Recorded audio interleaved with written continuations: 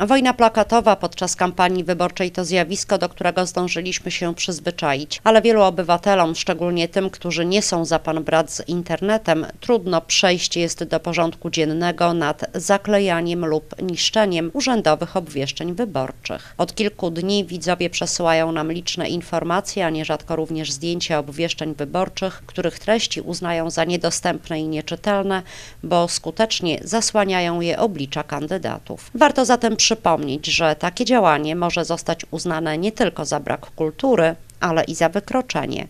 Chodzi o umyślne uszkodzenie lub usuwanie e, ogłoszenia wystawionego publicznie e, przez instytucję państwową, samorządową albo organizację społeczną lub też e, w inny sposób umyślne uniemożliwienie zaznajomienia się z takim ogłoszeniem. Naklejając zatem na urzędowym obwieszczeniu własną i na dodatek podpisaną podobiznę, zwracajmy uwagę na to, czy nie zakryjemy swym szlachetnym wizerunkiem ważnych dla przechodniów informacji. Nieuwaga może być kosztowna. Jest to kara grzywny e, do 5 tysięcy złotych.